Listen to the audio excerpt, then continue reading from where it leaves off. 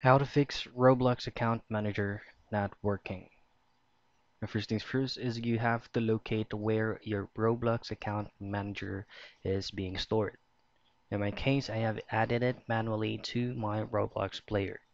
So just head over directly to your um, Windows icon and then just simply look for your Roblox account manager file.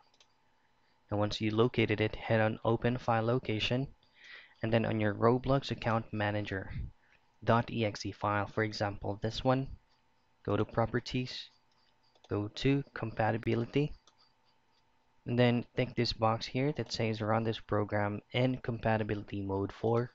Drop this down into Windows 7, disable full screen optimizations, run this program as an administrator, and then hit on apply and then OK.